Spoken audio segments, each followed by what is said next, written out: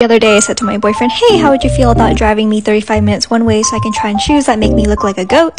And unfortunately for him, he said, Okay, let's go. So he drove me to the Maison Margiela store in Beverly Hills. He also insisted on taking this video of me knitting while driving. He watched me try to put my phone in my mouth and was like, No, you can't. You're not doing that. Anyways, we made it to the store safely. It was gorgeous, beautiful, stunning. I've been spiraling over getting a pair of tabis, but wanted to make sure I had the right size before I bought them secondhand because they are not cheap. And I'm glad we made the trek because the sizing really varies between styles. I had to size up for the ballerina slingbacks. For the other heels, I think I was true to size, but they didn't actually have my size in the store, so I couldn't check for sure. He doesn't get it, but he's very supportive. Feels like a deer. Thank you.